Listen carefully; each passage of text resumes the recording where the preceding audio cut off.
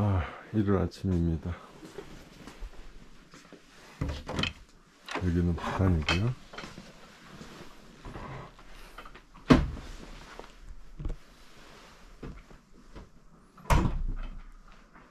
부산의 아침 풍경입니다. 아,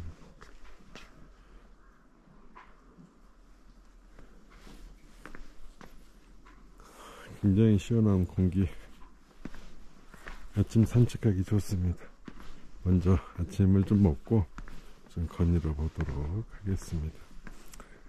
어, 이곳은 뭔가 초원? 네, 초원입니다 초원.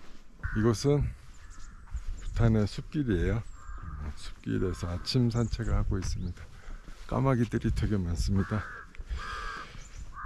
이제 원래 부탄에 올 계획은 벌써 1년 전부터 세워서 이렇게 준비를 했는데 마침 시기적으로 제가 이제 모로코 지진 구호활동차 다녀온 시기하고 딱 맞아서 원래 거기가 이제 지진 피해자들이 수천 명이 지금 사망을 한 상황이잖아요.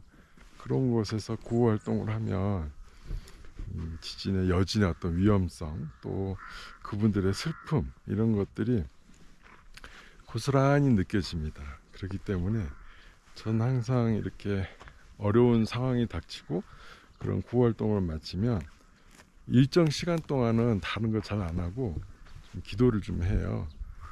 연부를 하면서 어, 그분들의 돌아가신 분들의 또 극락왕생도 빌어주고 또 살아있는 분들도 새 희망을 갖고 살기를 염원을 해줍니다.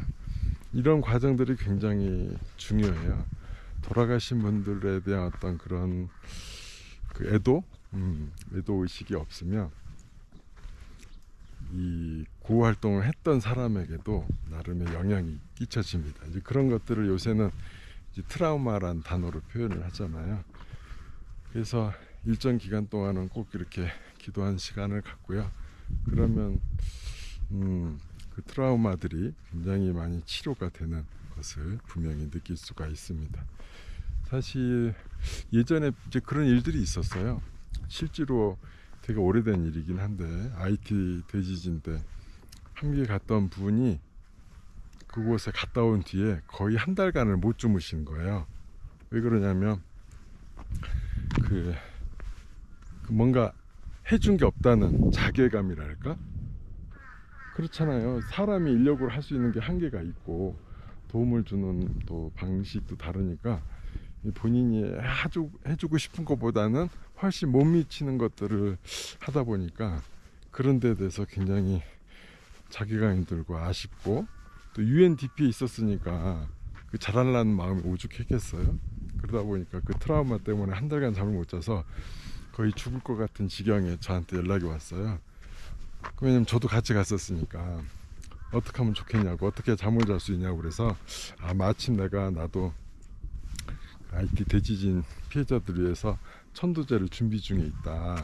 와서 참석할래? 그래가지고 참석하겠다고 그래서 그 이제 함께 있을 때 이제 천도제를 지냈습니다. 그랬더니 그러고 나서 이제 집에 돌아갔더니 3일 동안 연락이 없어요.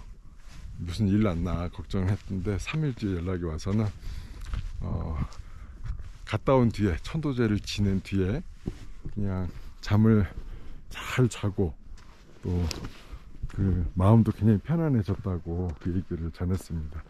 이처럼 돌아가시는 분들을 위한 어떤 애도의식을 또 잘하면 산 사람에게도 어, 긍, 굉장히 긍정적인 효과가 미쳐지거든요.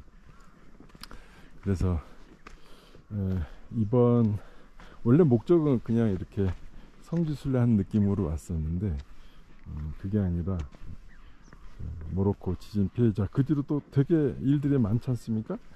어, 리비아는 또 홍수로 댐이 터져서 많은 사람들이 돌아가시고 그리고 그 바로 이어서 아프가니스탄 지진 나고 근데 아프가니스탄과 리비아는 갈 수가 없어요 한국인들이 갈 수 없는 지역이라서 구호 활동을 못했고 그러고 났더니 또 이스라엘과 또 팔레스타인 전쟁이 일어나고 지금은 굉장히 그 위험하고 혼란한 그런 시기입니다. 이럴 때 또 혼란을 좋아하는 그 마구니들이 있어요. 그런 이들이 또 준동을 해서 요새 말로 표현하면 그런 거죠. 테러리스트가 되는 거죠.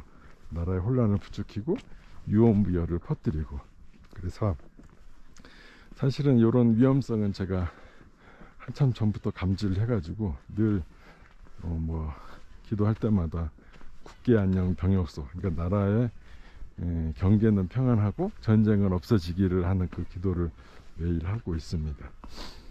그래서 이곳에 온 기간 동안은 어, 이쪽 지구촌의 평화와 그리고 또 우리 한국도 좀 잘 지내고 음, 또 여러 재난으로 인한 사망자들을 또 위로하는 마음으로 음, 좀 연불과 기도에 좀 집중하는 시간을 갖고 돌아갈 계획입니다. 자, 풍경 얘기를 안 했는데 어때요? 되게 되게 아름다운 풍경이죠. 왠지 기도를 안 해도 평화가 올 것 같은 그런 모습입니다. 네. 그러면 저 위에도 아우 저 위에도 멋집니다. 그러면 또 오늘은 여기까지 하도록 하겠습니다. 또 만나겠습니다. 너 여기까지 왔어? 너 아까 그 밑에 있더니 와, 잘 먹는다. 아, 알았어. 계속 먹어. 음. 방해 안 할게. 소 풀 뜯는 소리.